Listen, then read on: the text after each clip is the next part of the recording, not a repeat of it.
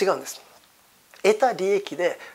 来年の種を買おうこれが理想的なお金の残し方なんですよね。だって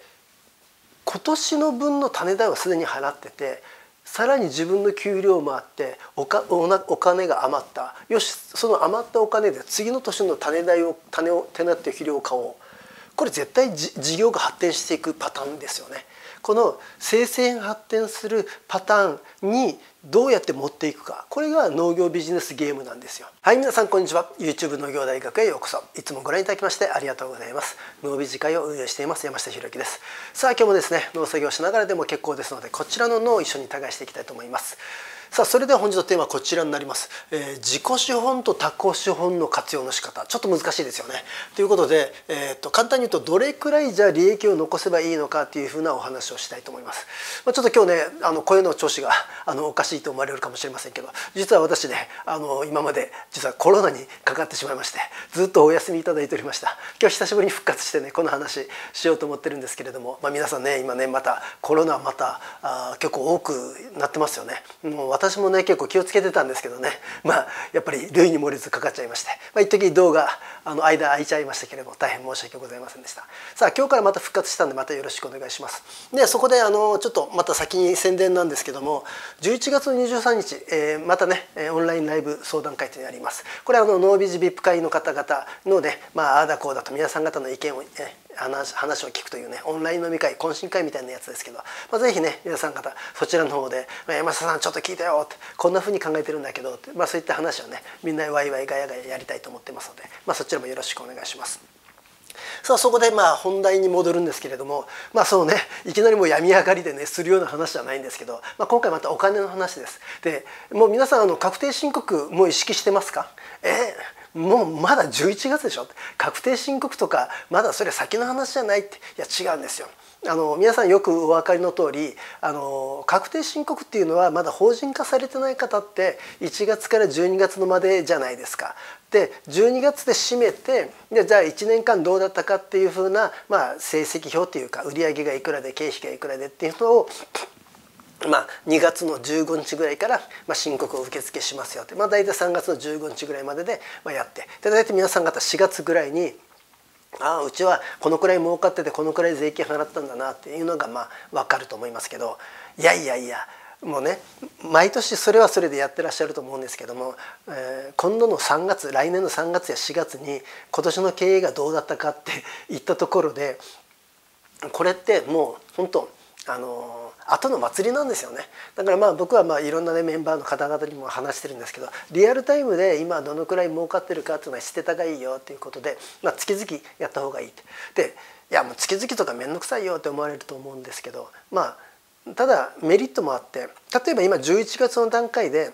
あれ？これ12月で締めた時にこれ我が家確実に利益が出るぞってなった時にまあ分かりやすく言うと12月で締めちゃうんで12月までの間になんうの利益がたくさん出てたらその利益をまあ何かしらえ使うことによって税金を安く納めることができるんですよね。でそのためには今の段階でえ12月末までの間の売り上げを予測して総経費がいくらぐらいかかるかを計算するとあ我が家300万儲かるなとか1,000万儲かるなとかいうのがまあ分かるわけですよ。でそれを12月の25日ぐらいに分かったところで「わあどうしよう。1,000万利益出ちゃった。1,000万利益出るんだけどその1,000万なんとか税金を払わずに逃れるためにはどうすればいいんだろうか。そうだ、えー、帳簿を改ざんしよう。はい。あのすぐバレます。そんなことやらないでくださいよ。じゃなくてあこれこのままいくと今年利益が出そうだなっていう方がいらっしゃったならばそういった方々は今のうちから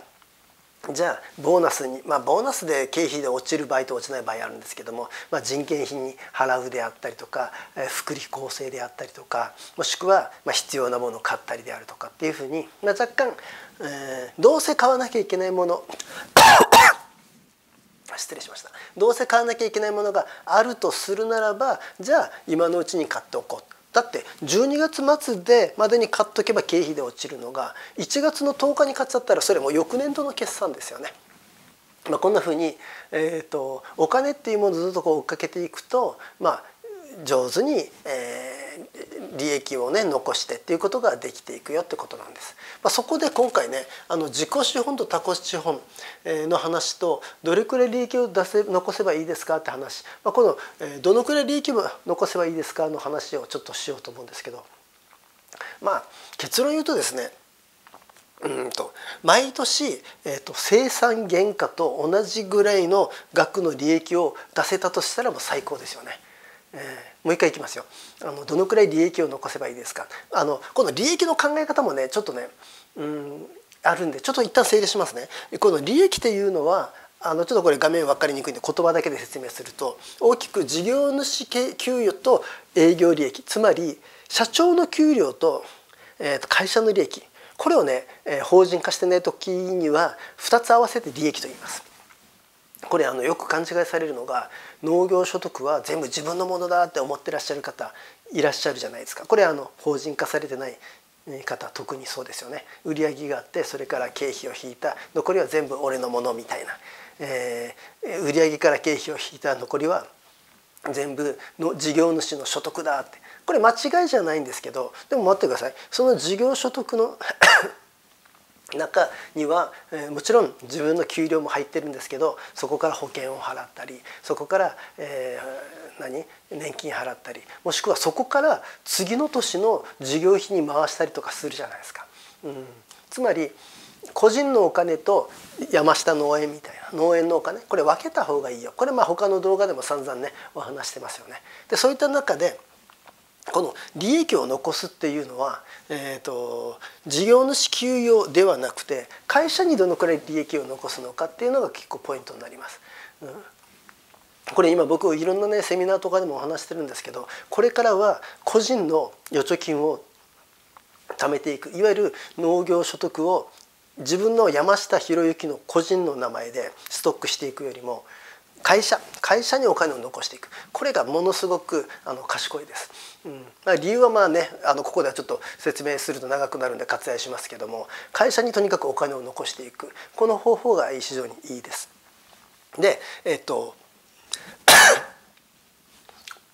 どのくらいお金をね、えー、残せばいいですかって話なんですけど毎年生産原価と同じような利益もし残せたとしたらもうこれも神業です。うん、例えば2,000万売り上げてるのに大体製造原価っていうのは50%ぐらいなんで1,000万ぐらいですよね。つまり2,000万売り上げてるのに2,000万の中から1,000万利益を出すことができた、まあ、ここまでなったらもうすごすぎですよね。でもまあなかなか2,000万で1,000万利益出すことは難しいんですが、えっと、割と、うん、1,000万の中からうん、あいわゆる製造原価の中から大きく3つ。材料費人件費製造費。というふうにえ材料費と種代肥料代とかですよね。人件費というのはパートさんとか従業員さん。そして製造費というのは、まあ、土地代とか原価償却だったり、えー、トラクターの支払いだったりみたいな大きく3つありますよね。その中でせめて材料費。つまり種代肥料代。この種代肥料代の分を残すことが理想なんです。はいじゃあ一旦整理しますね。ってことは2,000万売上上げました。でその中でじゃあ給料が360万だとしましょう。まあ分かりやすく350万だとしましょう。自分の給料がね。そして 種代肥料代農薬代。これらが300万だったとしましょう。いわゆる製造いわゆる製造原価の中の材料費。これが300万だったとしましょう。つまり合わせて650万残せたとするならば素晴らしい経営です。例えば2,000万の 売り上げ。ごめんなさいね。ちょっと病み上がりで咳がちょっとまだ出てしまうんだけど、えっと、2,000万の売り上げで約650万。ね。えー、いわゆる30%です。30%から35%の農業所得が出る。でもその中で実際の、えー、事業主さんの所得は350万。そして会社に内部を留保するのが300万。そうなるとどういうことかでどういうことどんなに素晴らしいかというと例えば2通り今からちょっとあの事例農家さんの事例をお話しするんで自分はどっちに当てはまるかなってちょっと考えてみてください。まず1つ目 A さんは、うん、得た利益で今年の今回の種代を支払いました。ね、得た利益で今回の種代を支払いました。B さんは得た利益で次にまく種を買いました。さあいかがです？今の話聞いただけで皆さんどっちですか？皆さんが得た利益で種代を払ってる派じゃないですか？もしかして。今回の種代をじゃあ払わなきゃなって。っていうふうにやったりしてません？違うんです。得た利益で来年の種を買おう。これが理想的なお金の残し方なんですよね。だって今年の分の種代はすでに払っててさらに自分の給料もあっておかお金が余った。よしその余ったお金で次の年の種代を種を手なって肥料を買おう。これ絶対事業が発展していくパターンですよね。この生鮮発展するパターンにどうやって持っていくか。これが農業ビジネスゲームなんですよ。うん、なんか分かりました？なんかちょっとまどろっこしい言い方だったんですけど、うん、つまり皆さん方が今年12月に利益が出るんですよね。で利益が出ました。その利益の中で自分の給料は自分の給料。そして会社に残す分っていうのを自分の帳簿内でします。これ確定申告は別です。確定申告は結局両方ともに余ったもの全部に、えー、所得税がかかりますからね、えー、だけどその考え方ではなくて自分の帳簿の中で自分の家計費と自分の事業所得と、えー、会社のお金っていうのをこう自分の中で分けるんです。でこの概念が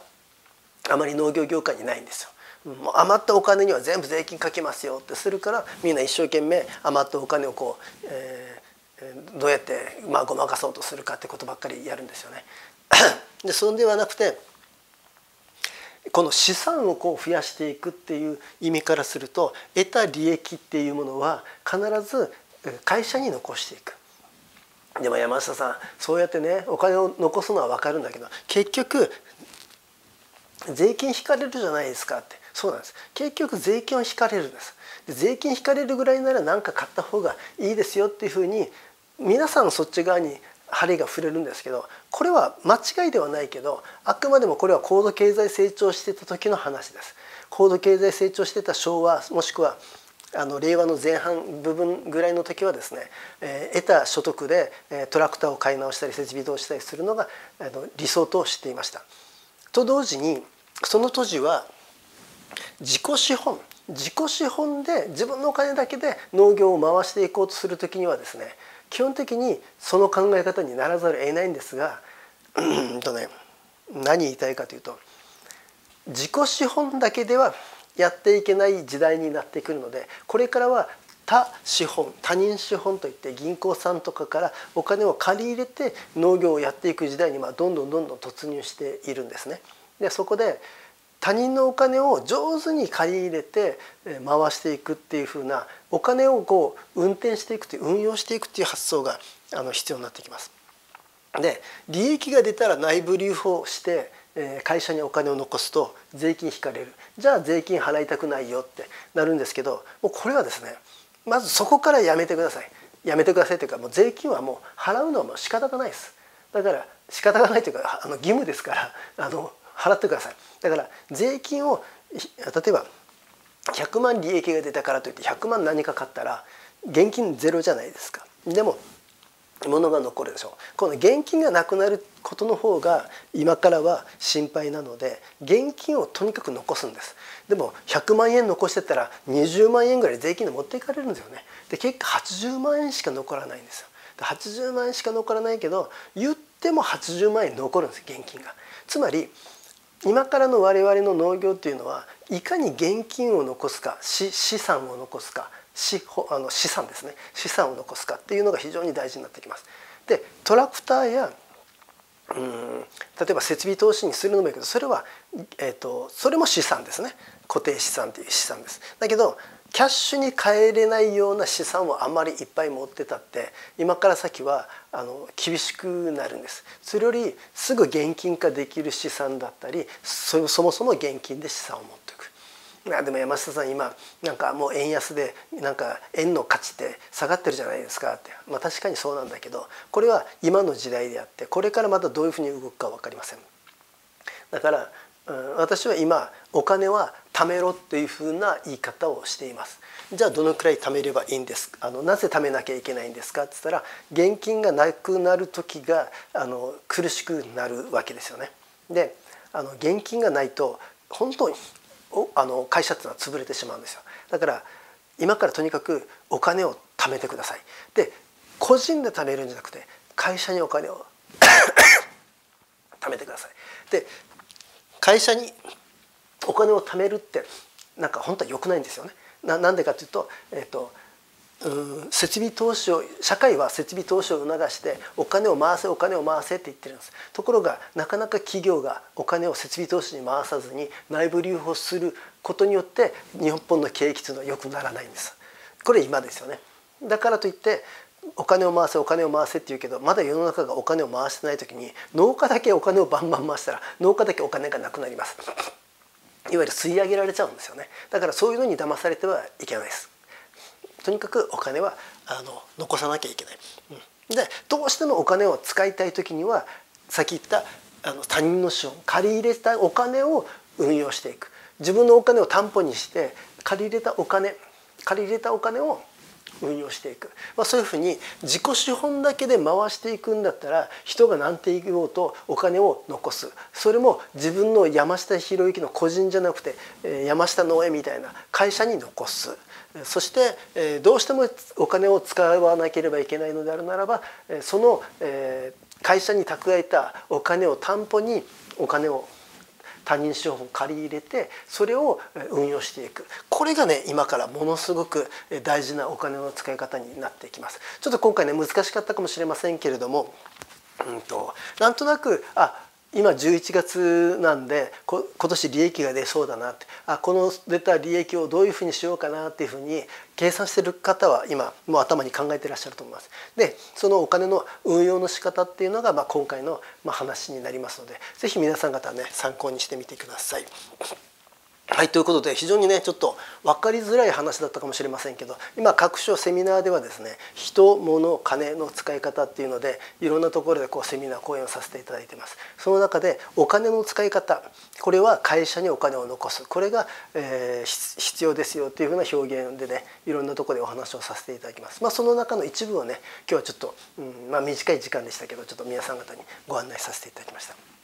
はい、ということですいません中でまだ声が本調子ではありませんけれどまたこれからもね、えー、まあ、情報を出していこうと思ってますのでよろしくお願いいたします。はいということで今回ねこれで終わりたいと思います。最後までご視聴いただきましてありがとうございました。